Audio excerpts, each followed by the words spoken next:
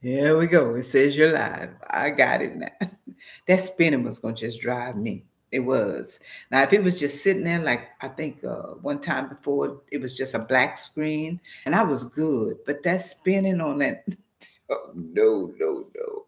Anyway, let me introduce myself. My name is Glenda Archangel Jones. Good morning, Winnie. And you're with the Matthew 633 Seek God First Ministry Bible Study, where we study the Word of God. I want to encourage you get your pads, your pens, your Bible, and be ready to write because God speaks individually and collectively. And so he says, write the vision down that they that read it may run with it. So I want to encourage you, whatever the Lord is telling you today, to write it down. Again, uh, sorry for the delay. I was trying to get YouTube up and at it, but again, thank you all for your giving. I, I don't know what I did with the list, but I did read it, I think, twice. But thank you for your giving. It's because of your giving we're able to give. Also, want to thank you for your giving because on Resurrection Sunday, we were able to feed our uh, family over in Pakistan. They uh, requested only one thing for Easter, and that was to have for Easter. Mm-mm for Resurrection Sunday, and that was to have a meal. And to God be the glory for the things He has done. We were able to provide them a meal. And so, thank you, thank you, thank you for your giving. Uh, we're not only giving here local, but we're giving all over the world.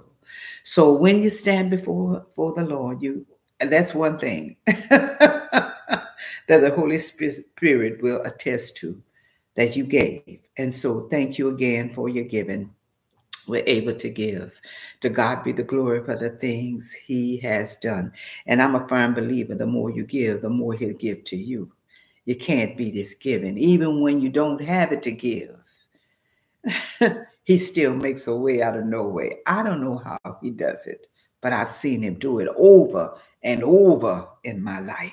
All righty. So this morning, we're just going to do a review of chapter 18 and then an introduction to chapter 19. So, guess what? On Friday, thank you for the thumbs up. On Friday, we will be doing the beginning of chapter um, 19.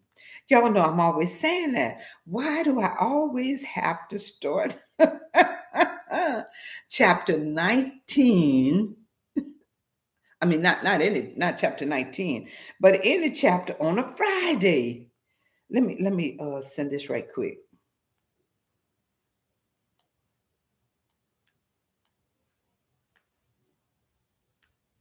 Okay. Thank y'all for being so patient with me. So patient. God is. Look like everything I have to do right when I'm on. But anyway, so we're going to be starting chapter 19 on Friday. and I was like, I can't do nothing else. But I, I mean, and you know what Satan say, oh, just don't go home. And you want to start on Friday. You can start on a Monday, but the devil is alive.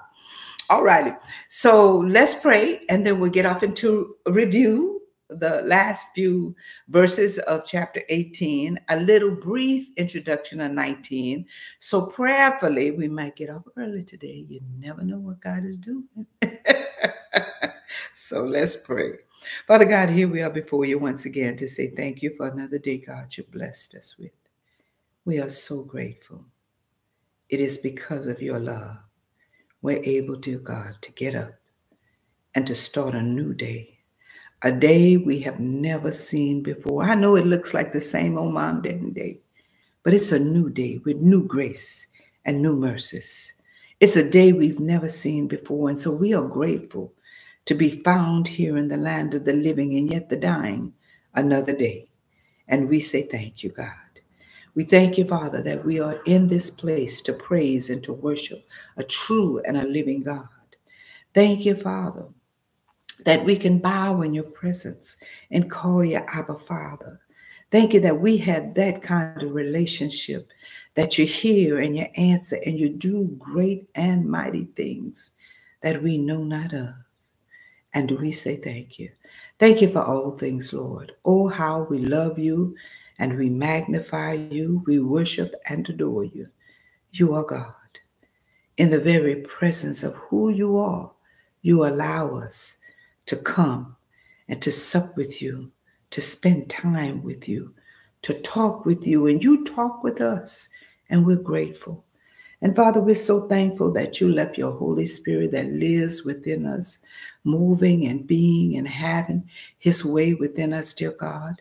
We're so grateful that you left your word with us so that your word will go forth as a two edged sword out of our mouths, dear Father. That you live and have your being in, over, around, through. God, we are so grateful. Thank you, dear God, for the love that passes all understanding.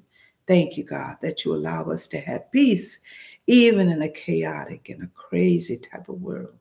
Thank you, Father, that we have joy unspeakable. Lord, even when things look bad, they feel bad, we still have the joy of the Lord. And we're so grateful. Even as we go out into this sin sick world, we will remain a light, God, so that men and women, boys and girls will see the light and know that there is a God. He's living and breathing and having his being inside of us. And so we thank you, God. We remember those, Father, that are without this morning, dear God. Be it spiritual or physical, financial, emotional, mental, or relational, we remember God. And we pray even right now that you will be who you are, and that is Jehovah Jireh, the God that provides. Father, we realize that you are El Elyon. You are the most high God, and we recognize you as that, Father. And we thank you, dear God, that even though you sit high, you look low. Father, that you walk the faith of this earth, going to and fro, seeking to save those that are lost. And we say thank you, God. You are such an awesome and a holy, a worthy God to be praised. And we are here to praise you for all that you have done, are doing, and will do in our lives. And Father, we just ask, even as we are reviewing, that the Holy Spirit will continue having his way, speaking to us and through us, dear Father. God, we thank you that we will receive a word for ourselves, even in the Old Testament, the foundational truth, Father, that we will receive a truth for ourselves and we will go out and live in that truth. And God, we just say thank you. We bless you even right now and we lift you up. We magnify, we adore, we worship, we bow in your presence. God, you are good. and we love you for it. It is in Jesus' name we pray. Amen and amen. Good morning, Elanda. Glad to have you this morning. All righty. So, uh, we're to, like I said, we're going to do uh, a little introduction, and then we're going to begin chapter 19. Well, uh, no, no, we're going to do uh, conclusion verses of chapter 18, and then we're going to do an introduction to chapter 19. Because, good morning, Betty, glad to have you. Because on a Friday, y'all know Mm. On Friday, we will begin chapter 19, if the Lord so spares life. Again, I want to thank you all uh, for allowing me to have a few days off. It really was a few days of good rest because when I don't come on in the mornings, I literally can spend so much more time in the Lord. So it was really a good time for me. so just thank you for allowing me to do that. Uh, and again, I pray you had a wonderful resurrection holiday. I pray that you just praise the Lord for allowing his son Jesus to come to die and then get up. Conquer sin, death, and the grave. My God, my, let me get out of there. I'm going to go off into that. All righty. So if you want to, you can open your Bibles with me. We're really reviewing uh, Genesis chapter 18, and we're on the 30th verse now. So on Wednesday of last week, we finished chapter 18, and our review verses for today will recap the end of chapter 18. Uh, um, yeah, chapter 18. In verse 30, Abraham has boldly questioned whether God's plan to destroy Sodom and Gomorrah is just. You know, Abraham said, Now, will you will you destroy the righteous and the wicked together? So he's actually questioning God. Abraham is very bold in the presence of God. says there might be, Abraham says, says there might be some righteous people living there. You're going to destroy the righteous and the wicked, although God is having this conversation. We're going to talk about it with, and we have talked about it with Abraham, and he knows there's no righteous. no, not one. And I believe that uh, Lot was a righteous man in Sodom, but he was not living a righteous life. I believe that because of all the things that happened in Lot's life. It lets me know he was not living a righteous life in Sodom. Uh, in this context, righteous does not mean moral perfection.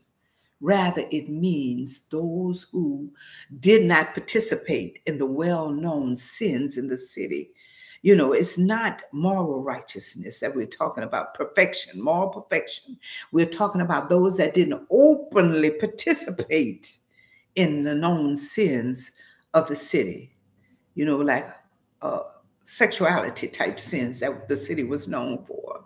But as we will see, everybody in the city was participating. Ezekiel 16 49 to 50, Genesis 19, which we will start on Friday. Lord spare. God graciously allows a sinful mortal like Abraham to discuss the boundaries of his mercy, even as Abraham attempts to push God's standards further and further down. And he does because Abraham starts with 50 and works his way down to 10. Here, Abraham begs the Lord not to get angry with him. And I would too. The way Abraham was challenging, if you will, that's a good word, God, God. It tells you God has that kind of a love for us. Mere humans, dirt. And he's standing up there questioning God's integrity, if you will. No, no, his righteousness. so here Abraham begs the Lord not to get angry with him. Reading this passage with fresh eyes, knowing nothing else but God or his character as revealed in the scripture, one is likely to be concerned about Abraham's boldness simply because the character of God says that I'm a righteous God. That's his character. The character of God says, I am a loving God. That's his character. He doesn't stop loving us when, when, he, when we mess up. He still loves us. You know how we are. Somebody make us angry. It's almost like, listen, I don't ever want to see that person again. Don't get in my face. God is not like that. He is love. It's his character. It's who he is. He's righteous. It's who he is. He's just It's who he is, It's his character. So, how can Abraham, mere dirt, stand in the presence of God and judge him as being unfair? Prior to this conversation, God destroyed virtually the entire race of human man in a flood in Genesis 7 because God said, now that's one thing He's loving. But he said, I will not tolerate sin. Sin, I won't tolerate. Now, I know you're asking yourself, why are you tolerating me? Because I ain't nothing but a sinful creature because of the blood of Jesus. I have the answer. Because of what we just celebrate, what Jesus just did for us, we just celebrated on Sunday. That's why he has not destroyed us. It's not by any righteousness that we have done, none. But it's because of what Jesus did. That's why he hadn't destroyed us yet. Because of what Jesus did. And that's why I say people ought to fall on their face, ought to be worshiping and pray. The church, uh, you ought to be able to hit a church a block before you get to it. That's how much people should be praising God all that he's done.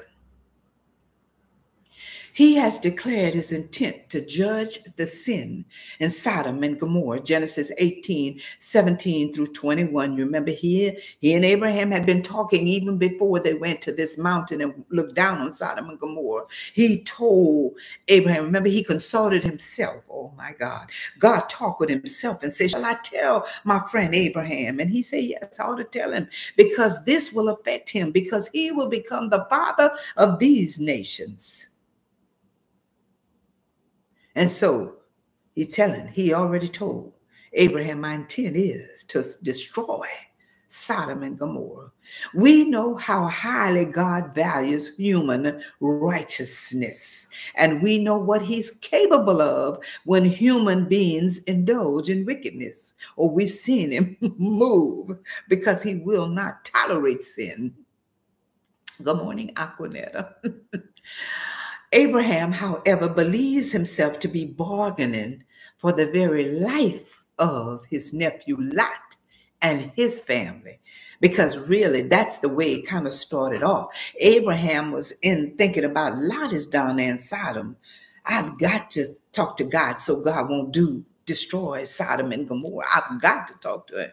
But later on, we find as he continues to talk to the Lord, he is concerned about all of those that may be righteous in Sodom and Gomorrah. Now, let me just tell you, as believers, it's not just about us. We ought to be concerned about others. And that's why I'm always thanking you for your giving and your gifts, because we are concerned about those that are not able to eat like we eat for those that don't have roof over their heads like we have roofs over our head, for those that don't have clothing to put on. We are concerned about those, for those that are, thank you for the horse, that are lost and on their way to hell. We're concerned about those. And that's one reason why I get up at four o'clock in the morning to be online, because I'm concerned about those that are lost. I thank God for those that are in the church that are saved, sanctified, set apart unto the Lord. Thank you for the those. I'm so thankful before God. But there are still some. There are still some. And this is where Abraham was. There may be one, Lord. There may be. Which would destroy a city for there are righteous people in it. And so God's desire is that none be lost. Our desire to be the same everywhere we go, everyone we meet. We need to be a light. We need to say, well, you know, I didn't talk to him, but somebody else. No, be that one that tell them about Jesus Christ. Be that one that will stand in a line and say, hey, I got your groceries for you. Don't worry about it. I don't have but a, a, a dollar worth of whatever I have in my hand, but I got your groceries. Because we ought to be concerned one for another. And you're going to see the love of Abraham. And, and at first, it was all about Lot. It really was. But as he continues to talk with God and plead to God, you begin to see that it is the love of others. So, uh, um, if he can get God to agree to spare the city for the sake of the right number of righteous people, perhaps a Lot can be saved from God's judgment. Notice I said perhaps. we know the end of the story, and he is, but let me just tell you. And that's why, as believers, we have to be careful. we can stay in one place too long and get comfortable there. You know, like people will go to Vegas and to visit. And like I say, I've been to Vegas myself. And y'all, let me just tell you. it made me think of this. I promise I'm going on, but it made me think of this. Me and my younger son, my husband, and my oldest son didn't go. I don't know why, but me and my younger son went.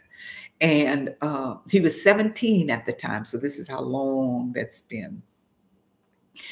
And we uh, our hotel was behind the casino. We had to walk through the casino to get to our hotel. Smoky, smoky. But anyway, we uh, were leaving out, and I said, "Oh, I forgot whatever I forgot. I don't remember." But I went back to the room to get whatever I got, Well, I came back and my 17 year old is sitting at the slot machine pulling the lever. And y'all won't believe this. And talking with a security guard. He's a minor, gambling. Ah, I'm going to jail, is all I can think. it's all I could think. I'm going to jail. so when I saw him, it's just like I stopped a minute and then I was just like, what do I say?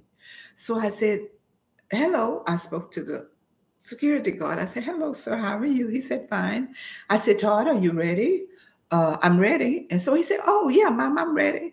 And so he took his, he got some money. He was the only one that won money because he's the only one gambling. he got his little thing and went got his money. And I'm like, Todd, don't you ever sit behind one of them machines again. I'm not going to jail for you. he said, Oh, I didn't know I couldn't play. You're a minor. Thank God he's six foot six, seven, whatever. the man probably thought he was older. Oh, I'm so thankful that he didn't ask him for an ID or anything. But y'all, anyway, that was just my life story. So if he can get God to agree to spare the city for the sake of the right number of righteous people, perhaps a Lot can be saved from God's judgment. The Lord has already agreed not to destroy the city if he finds 50. And then he went down to 45 or 40 righteous people there. Now the Lord agrees to 30. Abraham, though clearly knows how depraved this city is. Remember, I told you he was trying to find righteous out of five cities. He said, if I can find 10 righteous people out of five cities. Genesis 13, 13, Genesis 14, 22 to 23. Uh, because remember the Penta, what is it? A Penta, Pentecost? No, not Pentecost. Well, anyway, there are five cities that are in it. And Sodom and Gomorrah are the main cities of the five. These were the cities that the four kings went in and took all the spoils, but they only talked about Sodom and Gomorrah, even when the kings went in. But there were five cities that they went and they took all of the spoils. So these are the same five cities that Abraham is trying to find 50 people, 10 in each city. And that's why he gave the number 50 in the beginning. He said there ought to be 10 righteous in, in, in, five cities. There ought to be 10 righteous. And then he thought about it. He says, But Sodom and Gomorrah, I know are the biggest cities or the capital of the cities, if you will, and they are corrupt. So maybe I ought to say 45. Maybe I ought to say 40. Maybe I ought to say 30. he understands that 30 might still be more righteous people than the city could offer. So then in verse 31, Abraham believes himself to be negotiating with the Lord, likely for the life of his nephew Lot and Lot's family. Notice I say the word, he believes he is negotiating with God because God already had a plan. He already told Abraham his plan. I'm going to destroy Sodom and Gomorrah. But here he thinks he is negotiating with God. And the reason why he thinks he can negotiate it with God because he thinks he knows that there are righteous people in the city and God already knows all things. That's why we can't negotiate with him because he knows all things. He knows that there are not 50 or 40 or 45 or 30 or 20 if you will, or not even 10 righteous in the city the Lord has revealed that he will investigate the sins of Sodom and Gomorrah and, by implication, bring judgment upon those cities. Lot lives in Sodom. This is not actually a bargaining process, however. God is playing a role of a patient parent. He really is, allowing a child to talk it out I don't know about you, but being a parent, you know, when I was growing up, you couldn't talk to your parents because I remember when I try and tell my mama something, she shut up. but I said, as a parent, I would allow my, not to say that they wouldn't be punished, but I would allow them to speak. And here we have God allowing Abraham to speak to say what he has to say because God has already made the judgment for Sodom and Gomorrah. But he's allowing him to talk just like you would allow a child to talk in a situation for their own benefit. You know, it's like talk it out, get it all out of your system because after this, I'm going to whip you, but let's just get it all out because that's going to be your punishment. That's going to be the judgment that I placed upon that situation. But I'm going to allow you to have your time to talk. Abraham is going to set the bar for righteousness in Sodom at a pathetically low level, and it is still will not be enough. out of a whole Sodom and Gomorrah was the largest cities of the five cities. And out of five cities, five, I know you just think it's Sodom and Gomorrah, but it's really not. It's the whole five cities he's talking about. he can't find 10, I'm holding up five fingers, but 10 righteous. The purpose of is 633. 633. Let me stop it before I get into a middle of the statement. For those of you that are Matthew 633 God seekers, you know what we do. For those of you that's new to the page, we set our alarms, our watches, everything we have for 633. Because Matthew 633 says, Seek ye first the kingdom of God and his righteousness, and all these things will be added unto you. And plus, it's a good witnessing tool because somebody gonna want to know why your alarm going off. You can tell them, "I'm a Matthew 6:33 God seek. I've chosen by the act of my will and the aid of the Holy Spirit to seek God's face first." Thank you, Miss Sue. Thank you, Winnie. Thank you, Betty, and thank you, Aquanetta. And so, what it does is that it reminds us to seek God's face first, at least twice a day. Prayerfully, you're seeking His face all day, but at least twice a day, it'll be a reminder. Hey Am I seeking God's face? I need to stop right here and seek his face because we want the all things added, thank you, Patsy, to us. But we have to seek his face first. He tells us how we can get to all things. Seek his face first. All right, prayerfully, somebody heard that. That's a word in due season. so let's pray and then we get back into the lesson. Father God, here we are before you to say thank you. Thank you for your word because your words are true. They are life and they are life giving. And so we say thank you. Thank you, dear God, that you're teaching us, that you allow us to rant and to raid and to go on with things because you love us and because you are Daddy God. You are Abba Father, and you allow us to do those things.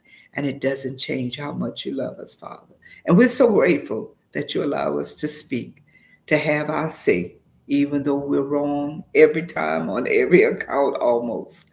We thank you for allowing us. And we will just continue to give you the praise as you continue speaking to us through the word. It is in Jesus' name we pray. Amen and amen. I made coffee this morning. I'm really rocking the coffee now, y'all. Watch out. I don't know what I'm doing different, but it's tasting better. Either that or uh, become accustomed to bad tasting coffee. I don't know. Anyway, the purpose of this decision is for our uh, this discussion. I mean, I'm sorry, is for our understanding. That's the purpose, so that we would see that God is a righteous God, that God loves us enough, allow us to be crazy in His presence, and still not strike us dead.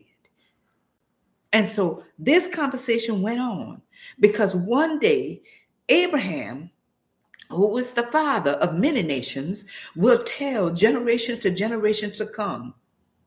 God already knew that there was none righteous in Sodom and Gomorrah. And yet he allowed me the opportunity to stand in his presence and to try and persuade him that there was one righteous in the city. And so he will tell this that God is a righteous God. He is a just God. He's a fair God. Because Abraham will now be able to tell that. And because it's written so that we may read it, we understand that God allows us. I don't know why or how he does it, but he allows us to come into his presence raggedy. That's the only word I know to say and still love us beside ourselves. because here's what you see. Abraham is telling him he's not a fair God, but he comes to the conclusion that God is a righteous and a just God. So, um, the purpose of the discussion is for our understanding why God owes us no explanation. You know, I know how you've said that with parents. You know, I, I know I've said it. Let me not say y'all, but I know I've said it. I don't have to explain myself to you. I said no, and that's the end of that. Why? Because I have the authority to say that. God has the authority to do what he does and owes us no explanation because we are his creation. He doesn't have to explain to us. Now, we sometimes have to go before him groveling and saying, Lord, forgive me. But he does not owe us any explanation for what he does, when he does it, and how he does it, simply because he knows all things. His conversation here gives us insight, which proves his actions against Sodom to be entirely justified. Abraham started by asking if God would spare the city if he found 50 righteous people. There the Lord agreed. Then Abraham said, What about 45? The Lord agreed. Then 40, then 30. Now Abraham asked for 20 while recognizing that he's being incredibly bold to speak his this way to God. The Lord again agrees. 20 you'll spare the city. Then in verse 32, after God indicates his intent to destroy Sodom and Gomorrah for their sins, Abraham again tries to convince God to consider the righteous people who might live there. In truth, God already knows that Sodom is doomed and has no need to justify himself to Abraham. However, using human language, he has allowed Abraham to discuss sparing the city if a smaller number of people there are not involved in the city pervasive sins. Genesis 13 13, Ezekiel 16 49 to 50. Good morning, Shay. Glad to have you. Abraham concludes his negotiation with the Lord here with another request that the Lord not be angry with him and promise not to push any further after this. He said, Lord, don't be angry with me. And after I give you this number, I promise I'm not going to change it. You should have. if the Lord finds, this is Abraham, if the Lord finds 10 righteous people in Sodom, Will he spare the city for the sake of those 10 people? This particular number was probably Abraham's goal all along with the intent of sparing his nephew Lot from death in the judgment against Sodom. Once more, the Lord agrees to Abraham's request. He will not destroy the city if 10 righteous people are found. Y'all, I think about Lake Charles. We're probably at, like I said, 70 something thousand people here living here now. And if the Lord came, would he find 10 righteous? Would he find 10 righteous? Now, I'm not talking about people that go to church. I'm not talking about people that be in, in church. Hallelujah. Praise God. I'm not talking about people that walk the street and say, Oh, praise the Lord, thank the Lord. I'm talking about 10 righteous. That's the ones that sold out. If it came to living or dying, I died for the Lord. 10 righteous in the whole city. This particular number was probably, like I said, Abraham's goal already. Once more, the Lord agrees to Abraham's request. He will not destroy the city if 10 righteous people are found. Of course, the Lord already knows how many righteous people he will find in Sodom and Gomorrah. And like I said, I don't think that Lot was even all that righteous. I just think that the Lord loved Abraham, and because he loved Abraham, he spared Lot. See, because the Lord knows our heart. And I'm telling you, uh, when you're in the midst of a righteous person, you can be blessed just by being in their presence. And I truly believe, I don't know this. When we get to heaven, we're going to be able to ask, but I don't know that Lot was all that righteous. But I believe that God knew how much Abraham loved him. Um, of course, the Lord already knows how many righteous people he will find in Sodom and Gomorrah. He knows what's coming. Still, he has been gracious and kind to endure Abraham's pointed questions and requests.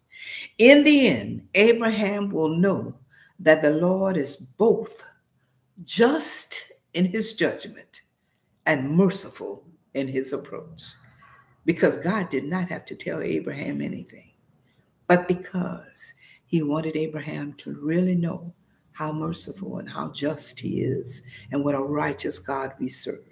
He had to have this discussion so that we would know. God didn't just walk in and say, I already see it, which he already knew.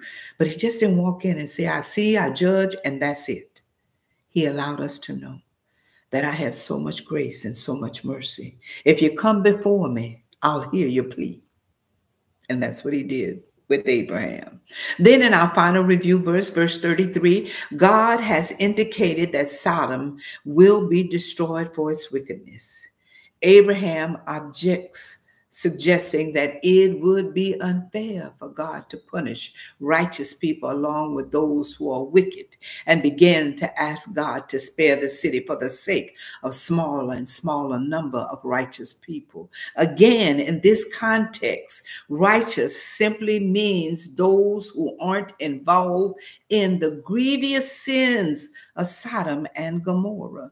Genesis 19, which we're going to study, Ezekiel 16, 49 to 50, in a display of great patience, grace, and mercy. The Lord has stood and heard everything Abraham has said to him, including a bold claim about whether or not God's plan is fair. That's a man that'll stand in the presence of God and question God. And God has that kind of a love that oversees, I want to say, his ignorance. In addition, the Lord agreed to every request that Abraham, uh, that came from Abraham, even though Abraham turned it into what sounded like a negotiation. Abraham's intent all along was likely to reach the point seen in this last verse of verse 33. God vows not to destroy the city if 10 righteous people could be found there.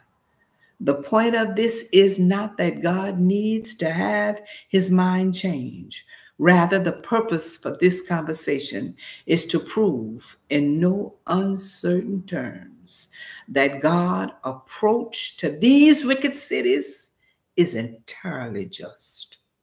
That's what he's God is proving. You can't find them. You won't find 10. As the Lord walks away, likely towards Sodom, and Abraham returns home, the agreement stands that the Lord will not destroy Sodom if he finds 10 righteous people there. Abraham seems to believe, or at least hopes, that at least 10 of Sodom's thousands of residents are not participating in the great wickedness of which they have become infamous for. And we saw that in Genesis 13 13. Abraham's ultimate hope, we assume, is to save the life of his nephew Lot and his family. Sadly, the next chapter will reveal that Abraham has overestimated the number of righteous people in Sodom. He has also underestimated the extent of the Lord's blessings for him and thus for his extended family. It's the love that the Lord has for Abraham and the love that Abraham has for the Lord that spared Lot and his family. God's patient discussion with Abraham allowed Abraham to set his own standard for goodness. You see, we have a standard, and God has a standard. We might call it righteous and holy, and God says it's stinking in my nostril because our standards is so much lower than God's. By any measure, the city was deserving of God's wrath. Lot, however, will be saved from this wrath despite his own foolishness. Share the video, thumbs up, like, and tag. So, here in a short review of chapter 19, this is one of the most dramatic and shocking chapters in Genesis, which is saying something. The events recorded here reveal the utter wickedness of the people of Sodom. They displayed God's grace to Abraham in rescuing Lot and his family. I'm just trying to tell you if one person in a household loves the Lord, the Lord will. He will actually do it. Spare the whole family because of the love that one person has for him. I'm trying to tell you. I remember Myles Munroe, I think it was Myles Munroe, who said he was on an airplane and the airplane was having engine problems. And the lady was panicking. And he said, Don't worry about it. I know he did die from an airplane crash, but this particular time he said, Don't worry about it. I'm on the plane and God is sending me to a mission. We're going to make it. and they land the plane, not where it was supposed to, but they did get the plane land. Nobody was hurt or injured. The uh, events record here reveal the utter wickedness of the people of Sodom. They display God's grace to Abraham in rescuing Lot and his family. The Lord displays his grace. Um, they show God's readiness and ability to judge the sins of humanity. Don't you just don't you believe that when God tells Jesus and Jesus splits the skies to come and judge that he's not ready because sin is running rampant in this world and he didn't ever create this world to be with sin in it and that's why the world doesn't know how to act. That's why we're having all of this erratic, if you will, weather. And the other day I was watching where they were talking about how the fish in the in the waters are just acting just erratic and coming up on dry land and dying. And fish know they can't live on dry land; they have to be in water. But they they had them just spinning around, and they were just swimming in circles, and they say they don't know what's going on. Well, that's the type of world that we're living in. When it's supposed to be uh, hot it's cold. when it's supposed to be cold, it's hot. It's supposed to be rain, it's sunshine. So we're having very erratic weather because the earth was never made or created for this type, this amount, if you will, of sin to be rampant in it, like it is. And it's affecting not only the atmosphere and the, the uh, trees and the grass, but it's affecting us also because we have diseases that they're renaming and giving names and stuff they don't know what's causing it because of sin. So don't think God won't be ready to judge when he tells Jesus that it's time. The display, they display God's grace to Abraham in rescuing Lot and his family uh, in this particular scripture, they show God's readiness and ability to judge sin and humanity. And these verses display the lasting consequences of sin in the heart of Lot and his daughter. In the prior chapter, God humors Abraham by discussing the condition which Sodom must meet in order to avoid destruction. While God has no need to justify his actions to anyone, this conversation is permitted for our benefit by allowing Abraham to set a standard for God's justice, which Sodom objectively fails. Chapter 18 leaves no doubt that the fate of Sodom is questionably undeserved. In this chapter 19, two angels will come to Sodom to destroy the, soul, the uh, city. These seem to be the same angels who had been speaking with Abraham in chapter 18. Remember, they had uh, a meal. The Lord and two angels had a meal with Abraham, and they talked with him even there. Lot greets them at the gates to the city. The two angels went down to the city of Sodom. The Lord stayed and spoke with Abraham about the city of Sodom. But the two angels go down, and Lot greets them at the gate of the city. This is in chapter 19, and insists that they stay in his house for the night. Based on what happens in the next few verses, Lot likely knows that traveling strangers will not be safe in the streets. Even inside of Lot's home, however, these strangers are not out of harm's way. The men of the city surround Lot's home and demand the men be sent out so the mob may know them. When I say know them, I don't mean ask their names. The text is clear, both in terms of language and interpretation and context, that a crowd of men from Sodom has gathered to homosexually rape these two strangers. Lot pleads with them. He offers them his virgin daughters instead whether this is a symbolic gesture or a Middle Eastern hospitality or an actual solution being purposed by Lot, the men of Sodom will not relent. They want the two men that went into Lot's home. The angels intervene and physically remove Lot and his family from the city. They give clear instructions to Lot and his family to run for the hills and not look back. Lot says, No, and they allow him to go to Zoar instead. Remember, Zoar is one of the cities out of the five that Abraham was trying to find 10 righteous. Then God's judgment falls from falls in the form of sulfur and fire, and God destroys Sodom and Gomorrah. The region around it, all the people and all the vegetation. Lot's wife disobeys, look back, and is turned into a pillar of salt. Lot and his two daughters have been spared but they have not they have lost everything the following morning abraham sees the smoke rising from all of the land of the valley as from a furnace everything has been utterly destroyed though lot and his girls are safe in zoar lot is afraid to stay there he takes, and why is he afraid? Because he knows Zoar is corrupt also. Don't let it, don't let it fool you. he takes his daughters and runs for the hills, settling in a cave. It's unclear why Lot didn't run to the household of his uncle Abraham.